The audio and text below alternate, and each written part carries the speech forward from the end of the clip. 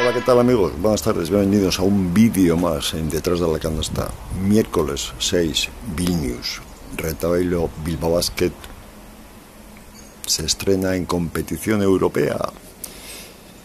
Luego os dejaré por aquí el vídeo de la rueda de prensa de Carlas Durán, por aquí o por aquí, no sé, bueno, por alguno de esos sitios. La cuestión, pues a ver si podemos empezar con buen pie esta Eurocup eh, y como detalle de la rueda de prensa de esta mañana, pues decir que Carlos Durán echa de menos el poder preparar el partido con, bueno, con tranquilidad y con, y con sosiego. Algo que a partir de ahora, entre competición europea y liga, no va a ser posible.